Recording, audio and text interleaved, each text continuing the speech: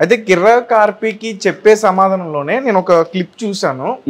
అంటే red light ఏరియాలో ఎక్కువగా ఎవరు ఉంటారు అనేది మీరు వివరించారు. సూపర్. ఒకసారి నా క్లిప్ ప్లే చేస్తాను. ప్లే చేయండి? ప్లీజ్. ఎవరైనా ఒక్క క్రైస్తవుడు సినిమా థియేటర్లో కనబడి అదేనా. అతన్ని బయట నుంచి ఎవరైనా ఇంకొక క్రైస్తవుడు చూస్తేనే ప్రాణం పోయినట్లుగా అనిపిస్తుంది ఆ థియేటర్కి వెళ్ళే వారికి అరే బార్ అండ్ రెస్టారెంట్ దగ్గరికి వెళదాం పద. ఆ బార్ షాప్లో కూర్చొని మందు తాగుతున్న వాళ్ళందరినీ కూడా నిలవబెట్టి మీలో ఎంతమంది క్రైస్తవులు ఉన్నారు? మీలో ఎంతమంది హిందువులు ఉన్నారు అని అడుగు. నీ కళ్ళకు పట్టిన పొరలు మొత్తం అప్పుడే రాలిపోతాయి. వ్యభిచార గృహాల దగ్గరికి వెళదాం పద. ఇక్కడి నుంచి వ్యభిచార గృహాల్లో రెడ్ లైట్ ఏరియా నేనే కదా మాట్లాడింది. ఉమ్, ఒళ్ళ ముక్కులే వారిది. నేను చెప్తాను మిగతాది. కాల్ గర్ల్స్ దగ్గర ఉన్నోళ్ళందరినీ పట్టుకుని "ఆ, మీరు ఎవరిని పూజిస్తారా? మీరు హిందువులా క్రైస్తవులా అని అడుగుదాం. అక్కడ నీకు ఎవరు కనపడతారో చూస్తే ఈ ఫిల్మెంట్ ఏమైనా వెలుగుతుందేమో అప్పుడు.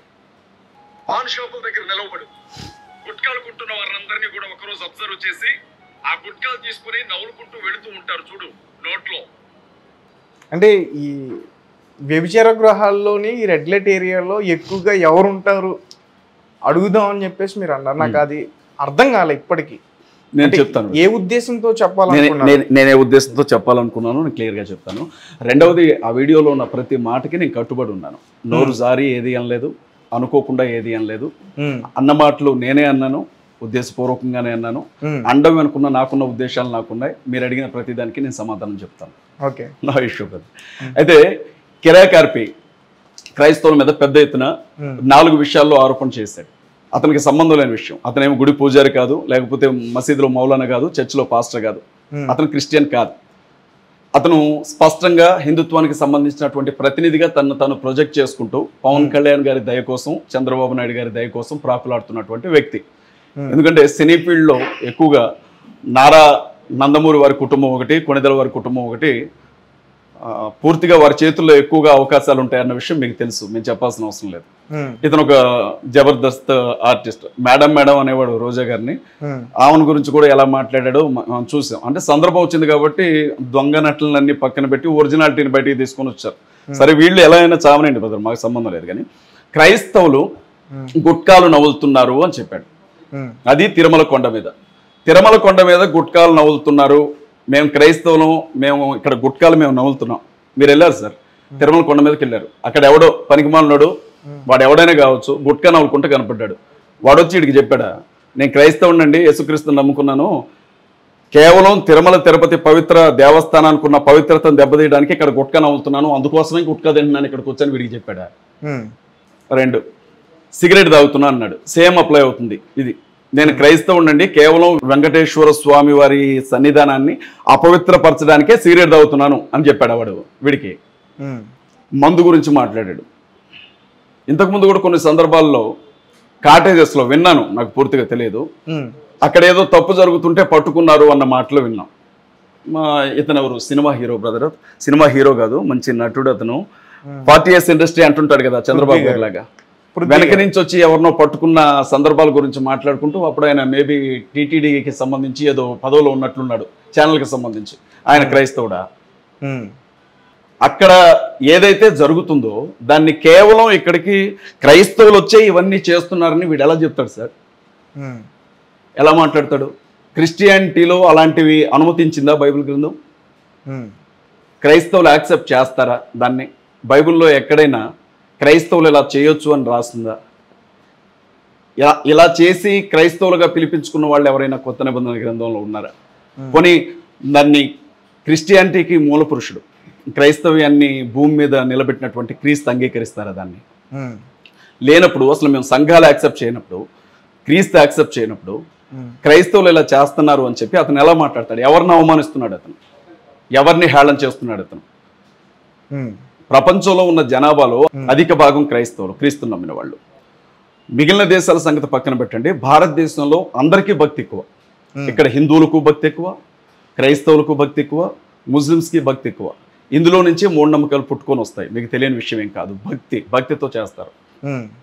అలాంటిది మేము అసలు అతనికి అర్థం కావాల్సిన విషయం ఏంటంటే సార్ నా బాధ ఏంటంటే ఇంతనే మాట్లాడడానికి రీజన్ ఏంటంటే యేసుక్రీస్తు ప్రభువు నిజంగా నా దేవుడు. నేను ఆయన్ని నమ్ముకున్నాను. ఆయనే రక్షకుడు అని ఎవడైనా నిజంగా మారు మనసు పొందిన వ్యక్తి అయితే పేక కోస్తున్న అతను తిరుమలకు వెళ్ళాడు సార్. తల నరికేస్తాం నీ తల నరుకుతాం నువ్వు రావాలి తిరుపతికి అంటే రాడు సార్ అతను. క్రిస్టియన్ రాడు సార్. ఓకే. రాడు అసలు ఆ- మెట్లు ఎక్కడానికి కూడా ఇష్టపడ్డ క్రిస్టియన్. అది మ- విశ్వాసం మాది. కించపరచడం కాదు. అది మీ వ్యక్తిగత విశ్వాసం అది. మా వ్యక్తిగత విశ్వాసం. మీరేమంటున్నారంటే జగన్మోహన్ రెడ్డి గారిని తిట్టడానికి ఆయన మీద ఆరోపణలు చేయడానికి మధ్యలో క్రైస్తవులను వాడుకున్నారు. లాగుతున్నారు లాగేశారు. లాగారు నోటుకొచ్చినట్లుగా మాట్లాడాడు సార్. నిజమైన క్రైస్తవుడు ఎప్పుడు కూడా చేయడు ఆ పని చేయడు. వెళ్ళరు. నేను క్రైస్తవుని అని చెప్పుకునే వాళ్ళు చాలా మంది ఉన్నారు సార్. గవర్నమెంట్ బీసీసీ సర్టిఫికేట్ ఇచ్చి ఇతను క్రైస్తవుడు అని చెప్పిన వాళ్ళు కూడా ఉన్నారు. నేను పలానా మాల కుటుంబంలోనూ మాది కుటుంబంలోనూ పుట్టాను కాబట్టి మాది క్రైస్తవ కుటుంబం అని చెప్పుకునే వాళ్ళు కొంతమంది ఉన్నారు. వీళ్ళని అసలు క్రిస్టియన్స్గా లెక్కించదు. దేవుని మాకు ప్రమాణం ఉంటుంది సార్. అంటే ఏం చేయాలి అని అనుకున్నా మేము బైబిల్ను దాటి చేయలేం. మాకు బైబిలే ప్రమాణం. అదే మాకు వేదం. రైట్. అయితే బైబిల్ విషయానికే వస్తే బైబిల్లో కొత్త కొత్త వెర్షన్స్ అన్నీ వస్తున్నాయి రకరకాలుగా. ఒకప్పుడు వన్ ఇయర్కి వన్ ఇయర్కి చేంజ్ అవుతున్నాయి. ఎందుకు అట్లా? సార్ ఇప్పుడు రెండు విషయాలు ఏంటంటే బైబిల్ గ్రంథానికి సంబంధించి రెండే రెండు పుస్తకాలు మీకు కనబడతాయి. ఒకటి ప్రొటెస్టెంట్లు వాడే పరిశుద్ధ గ్రంథం బైబిల్ గ్రంథం. రెండవది రోమన్ క్యాథలిక్స్ వాడే బైబిల్ గ్రంథం. ఆర్సీఎం అంటారు వాళ్ళని. మేము వాడే బైబిల్ గ్రంథంలో అరవై ఆరు పుస్తకాలు ఉంటాయి. అంటే మొత్తం అరవై ఆరు అరవై ఆరు బుక్స్ అధ్యాయాలు కాదు. అరవై ఆరు బుక్స్ ఉంటాయి ఆ గ్రంథంలో. అరవై ఆరు పుస్తకాల సంకలనాన్ని బైబిల్ అంటారు. బైబిల్ అంటేనే పుస్తకాల సంకలనం అని అర్థం.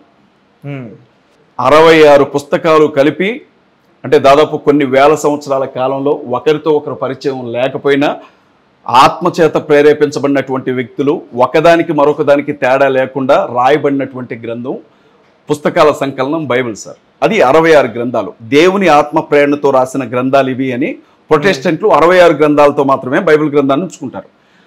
రోమన్ క్యాథలిక్స్ ఏమంటారంటే ఇంకొక ఏడు గ్రంథాలు కూడా దేవునికి సంబంధించిన ఉన్నాయి. అవి మేము నమ్ముతున్నామని చెప్పి ఆ బైబిల్లో యాడ్ చేసుకున్నారు. ఇందులో ఒక ఏడు గ్రంథాలు తక్కువ ఉంటాయి అందులో ఒక ఏడు గ్రంథాలు ఎక్కువ ఉంటాయి అంతే సార్. రోజుకో గ్రంథం మారడం కానీ సంవత్సరానికి ఒక గ్రంథాన్ని మార్చడం కానీ కుదరదండి. రైట్. అలాగే చాలామంది చాలా మంది కూడా నేను ఎక్కువగా వీడియోస్లో చూస్తాను ఆ వీడియోస్ కూడా బయటికి ఎలా వస్తానంటే కొంతమంది క్రిస్టియన్స్ కొన్ని బైబిల్స్ తీసుకుని లేకపోతే కొన్ని పాంప్లెట్స్ తీసుకుని ఊర్లో తిరుగుతూ చాలా మందిని మార్చడానికి ట్రై చేస్తున్నారు మత మార్పిడి చేయడానికి ట్రై చేస్తున్నారు. అలా వెళ్ళిన వాళ్ళని కొంతమంది హిందువులు కొడుతున్నారు. సో వాళ్ళు బలవుతున్నారు దెబ్బలు తింటున్నారు. ఎందుకు అసలు మత మార్పిడి చేయాలి అనే ఆలోచన? ఎందుకు అట్లా తిరగడం? అట్లా ఎందుకు మీరు దాన్ని అంటే ఒక క్రిస్టియానిటీని ఎందుకు అంత ఇది చేస్తున్నారు ప్రమోట్ చేస్తున్నారు? ఒక విషయం సార్. మీరు అడిగిన ప్రశ్నలో నేను రెండు విషయాలకి మీకు సమాధానం చెప్పాలి. ఒకటి మత మార్పిడి అన్న విషయానికి. రెండవది మతం అన్న విషయానికి. రెండు విషయాలకి నేను సమాధానం చెప్పాలి ఆ, నాకు ఇద్దరు పిల్లలు సార్. నాలుగో సంవత్సరం వచ్చింది మా పెద్ద బాబుకి చిన్న బాబుకి ఎనిమిది నెలలు. వాడికి ఇష్టం లేకపోతే వాళ్ళు అమ్మిచ్చే పాలు కూడా తాగడు వాడు. నా పెద్ద బిడ్డకి ఒకసారి నేను తినను అని అంటే భయపెట్టిన బుజ్జగించిన బతిలైనా కానీ ఆమె అన్నం తిందు. నాలుగేళ్ళే స్కూల్ కూడా వెళ్ళట్లేదు తను.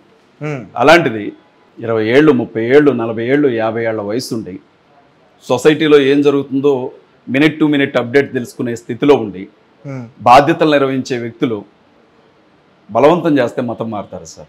సాధ్యమేనా అది ప్రాక్టికల్గా. ఇప్పుడు మీరున్నారు సార్. మీరు హిందువో క్రిస్టియనో నాకు తెలియదు.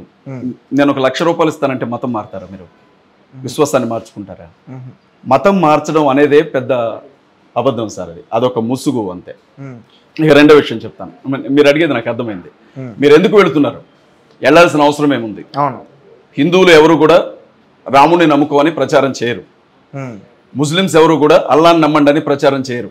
కానీ క్రైస్తవులు మాత్రమే యేసుక్రీస్తుని నమ్ముకోండి అని ఎందుకు ప్రచారం చేస్తున్నారు? మీరు అవసరం ఏంటి అనేది మీ ప్రశ్న.